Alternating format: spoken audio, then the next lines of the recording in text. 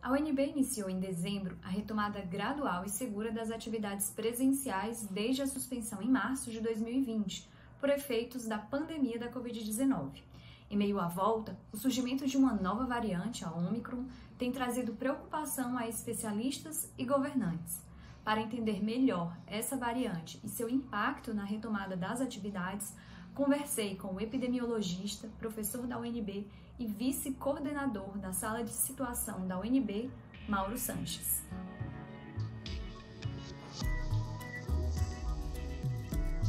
Oi, professor. É, obrigado por ter aceitado o nosso convite. Seja bem-vindo.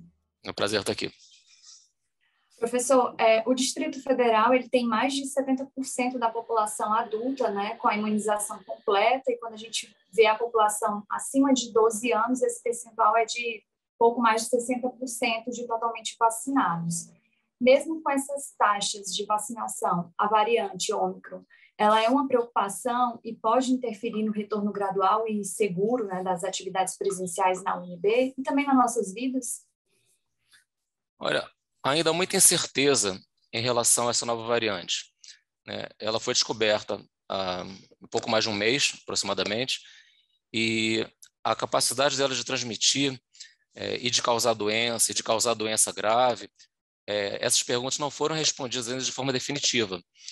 Então, o, o impacto que a nova variante vai ter na nossa capacidade de voltar à rotina, seja dentro da UNB ou fora, ainda, ainda é uma pergunta em aberto. As primeiras indicações são que essa, é, essa nova variante Omicron, ela é de fato mais transmissível, tudo indica, é, e esse, esse panorama ele vem principalmente do cenário da África do Sul, onde ela já é predominante na, sua grande maioria, né, mais de 80% dos casos são dessa variante Omicron, e quando ela passou a predominar, o número de casos aumentou, assim, a curva ela, ela passou a ser uma curva quase vertical, né? Então, houve um, um, aumento muito grande, muito repentino no número de casos. Isso ainda não se observou em outros países. Mas com essa indicação do que aconteceu na África do Sul, as indicações são que, como ela é mais efetiva em ser transmitida, ela deve passar a predominar em outros locais também. E a gente já tem essa variante no Brasil. Né? O DF já tem dois casos confirmados, e é uma questão de tempo, na minha opinião, que ela passe também a ser uma variante de, de importância muito grande em termos da proporção dela no total de casos de Covid. Agora, que impacto vai ter, a gente tem, vai ter que aguardar um pouquinho mais para ter certeza. É, e aí eu queria até saber quanto tempo os cientistas normalmente precisam para responder algumas dúvidas né, sobre a eficácia das vacinas, se essas vacinas que temos hoje, elas vão dar conta né, dessa, nova, dessa nova variante, e também sobre a transmissibilidade e a letalidade dessa nova variante. Né? Ao que parece, ela transmite mais, mas não mata mais, né? Eu estou errado sobre isso? Essa é a primeira impressão que se tem, é a primeira conclusão que se tira dos dados, mas tudo é muito preliminar, porque é tudo muito recente. É, e apesar da ciência ter avançado muito rapidamente durante toda a pandemia, né, a gente estava experimentando é, um ritmo que assim, raramente se observa, tanto no desenvolvimento das vacinas, quanto nas conclusões que têm que ser tiradas né, e entregues para os órgãos reguladores, né, a nossa Anvisa, né, o FDA americano, enfim, as agências correspondentes na Europa, etc. Mas em relação ao tempo que vai demorar para a gente ter essas respostas, é, pelo menos algumas semanas a um mês, porque o que, o que a gente tem que observar para ter resposta sobre transmissibilidade, capacidade de causar doença grave, efetividade das vacinas, são, além dos estudos, além dos estudos observacionais, quer dizer, além de você observar o que está acontecendo naturalmente na população, é você fazer é, é, estudos e ensaios em laboratório. Isso já está sendo feito. Né? Assim que a variante apareceu, imediatamente isso começa a ser feito em laboratório. Mas, então vai ser uma combinação. Eu acredito que em um mês, seis semanas, um mês e meio aproximadamente, a gente vai ter um panorama mais claro do, do que, que essa variante pode fazer, né, em termos de número de casos, em termos de gravidade da doença e em termos da potencial perda da efetividade das vacinas. Mas só é importante dizer o seguinte: apesar de a gente demorar um pouquinho para ter essas respostas, e um, um pouquinho no caso, assim, quando você pensa em ciência como um todo, um mês, algumas semanas não é nada, né? Mas quando a gente está lidando com uma doença que já matou 600 mil pessoas no Brasil, é claro que todo dia é um, é um dia que a gente fica angustiado e que é uma resposta quanto antes. Mas a gente vai ter isso em breve e, pelo menos, o que eu queria dizer é o seguinte: é uma mensagem otimista por enquanto. Né? Se você fala assim, é, é muito transmissível, muito mais gente vai pegar, não parece uma boa, é, uma boa notícia. Mas, de fato, se a gravidade é muito baixa, né, e os casos graves são mais raros do que as variantes anteriores, em princípio é uma boa indicação. É, se você tem é, incerteza sobre as sequelas da Covid, aí você já olha para um lado um pouco mais né, cauteloso e não muito bom. Ou seja, tem uma série de fatores que a gente tem que esperar um pouquinho ainda, tem que ter um pouquinho de paciência, mas como foi falado é, há pouco tempo, é, pela OMS, inclusive, é uma variante de preocupação, mas não há nenhum motivo para pânico, para desespero, porque é um movimento natural de evolução do vírus. Ele se transformar num vírus que transmita mais, o que é bom para ele, para o vírus, mas seja menos agressivo. Porque assim ele consegue se tornar endêmico, né? endêmico quando ele existe em níveis baixos, mas constantemente, que provavelmente é o que vai acontecer. Né? O vírus, a gente vai aprender a conviver com o novo coronavírus, seja ele na forma que ele, né, que ele é, se adaptar e acabar sendo predominante. E até quando a gente vai ver o surgimento de variantes de preocupação? A gente sabe que ele vai mudando, né, esse vírus, mas até quando os cientistas vão é, ver vírus que nos alertam, né, nos deixam em potencial alerta? Enquanto a gente tiver essa diferença enorme em disponibilidade de vacinas no mundo inteiro. Né? Não é uma questão nacional nossa, né? isso é uma questão internacional. O vírus, para gerar variantes, ele só tem que se multiplicar. Enquanto a gente permite que ele se multiplique, que ele circule e se multiplique, o vírus, quando se multiplica, ele vai gerando, por erros né, na replicação dele, ele gera uma mudança né, num local do gene, no, em outro local. E, enfim, ele gera um número enorme de mutações. A maioria esmagadora delas não, é bem, não vai ser bem adaptada e você não vai nem saber que elas surgiram. Só que pelo número grande de mutações que pode acontecer, porque você permite essa circulação do vírus, porque a gente tem uma cobertura vacinal que é muito desigual né, entre países, essas mutações vão aparecer. E, eventualmente, uma delas vai ser bem adaptada, como foi a Delta, como é agora a Omicron. E as pessoas brincam, né? Assim, não é hora de brincar, mas é, a gente tem que levar com um pouco de leveza também. Ninguém quer aprender o alfabeto grego todo. Né? Então a gente já está na Ômicron, ninguém quer ir até o, até o zeta, até a última, a última letra. Né?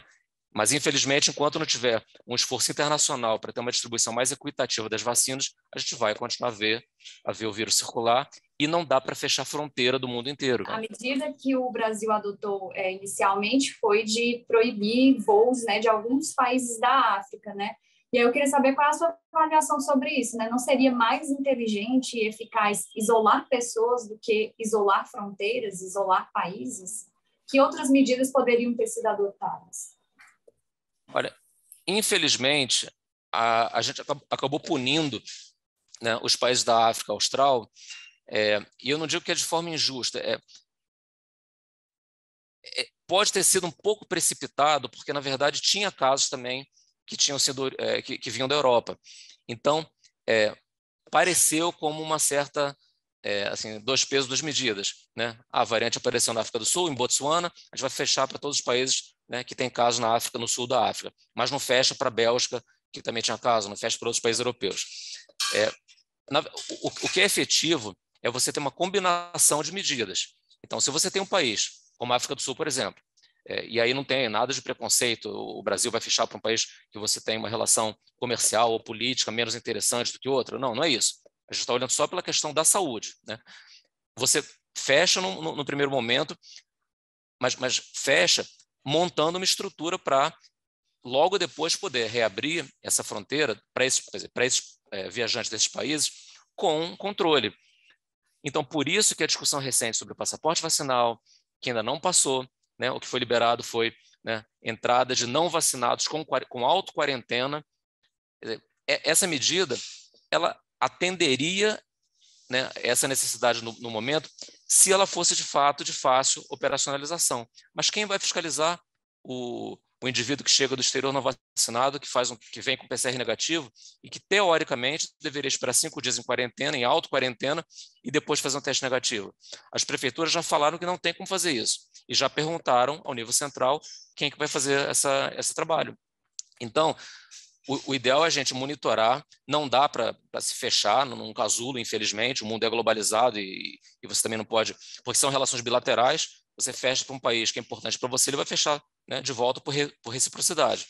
Então, e para isso, existe o Regulamento Sanitário Internacional, que é um regulamento que todos os países do mundo são signatários, que controlam e assim, recomendam e têm as diretrizes de como você controla, numa situação de emergência em saúde pública internacional, como a gente vive hoje, os procedimentos para você proteger a sua população né, em relação ao trânsito de, de bens e pessoas. Professor, em, em relação às vacinas, né, quais seriam a, o que seria recomendado, né? A dose de reforço, ela é realmente imprescindível? E quais as vacinas têm sido mais eficazes aí para conter? Já tem respostas sobre isso? Olha, todas as vacinas aprovadas para uso no Brasil, elas são efetivas. Né? Não, há, não há comparação, né? você, não, é justo você comparar é, a vacina da Pfizer com a AstraZeneca, com a Coronavac, porque os estudos, os ensaios clínicos, eles têm uma amostra limitada efetividade na população que está sendo estudada nesse momento, ela vai variar um pouco. O importante é que eles sejam, é, esses insumos, de um nível de efetividade autossuficiente para frear a transmissão do, do, do vírus. E isso todas as vacinas fazem. Então, a gente tem insumos adequados, né? A gente não tem problema de, é, de efetividade e por isso que se monitora com, as, com cada nova variante a potencial perda de efetividade, assim, dela funcionar como ela deveria. Mas você vê que todas as vacinas hoje, elas continuam funcionando tanto para formas graves, né, para o adoecimento, elas não protegem 100%, como nenhuma vacina protege, é muito raro, contra a infecção. Agora, se você se infectar, você não vai para o hospital, não vai ir para um, UTI, ou seja, você não só protege a saúde da população, como protege o sistema de saúde de uma sobrecarga, como aconteceu no começo da pandemia. É, e a gente está chegando num momento é, parecido com o do ano passado, né, das festas de fim de ano, e por mais que a gente saiba né, que é preciso é, manter o isolamento, as pessoas estão é, cansadas disso também. Então, vai haver Natal, é, nem que seja no, nos núcleos familiares, vai haver Réveillon, né? Tem também o início do próximo ano, Carnaval. Como que é, vocês, epidemiologistas, estão vendo esses eventos que estão se aproximando, né? Eles, dá para participar desses eventos com segurança? O que, que vocês indicam sobre isso? Olha, com o aparecimento da nova variante, é, você vê que muitos locais já, por cautela, cancelaram os eventos de aglomeração em massa. O que hoje, num local aberto, é a atitude mais responsável a ser tomada. quando você tem um ambiente fechado, que você tem como controlar a entrada e saída das pessoas, você pede a comprovação da vacina. Como hoje no DF já está né, já tá vigente essa, essa regulamentação, shows e eventos podem acontecer é, em, em estabelecimentos fechados, contanto que haja a comprovação da vacina. E as outras medidas que a gente já conhece, da máscara, distanciamento, etc. Mas num local aberto, você imagina, por exemplo, Copacabana, no Rio de Janeiro, que recebe um milhão de pessoas aglomeradas não tem como você controlar o uso de máscara, nem você controlar quem está vacinado e quem não está vacinado. E se você tem 30% da população sem vacinação e uso incorreto de máscara, se você bota essa quantidade de pessoas aglomeradas juntas, sem controle, é, é, um, é um caldeirão para você ter uma transmissão intensa do, do vírus. E se a Omicron for de fato muito transmissível, mesmo que ela não cause um percentual grande de doença grave nos casos que aconteçam, só pelo número de casos que vai acontecer, um percentual pequeno já vai ser um número absoluto grande. Entende? Então, isso pode sobrecarregar novamente o sistema de saúde. Então, por cautela, no momento, é interessante evitar grandes aglomerações.